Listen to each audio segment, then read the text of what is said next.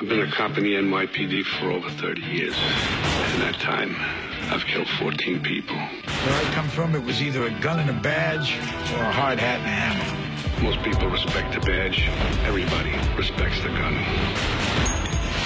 Somebody gave him a taste of his own medicine, walked right into his apartment, killed him with one of his own guns.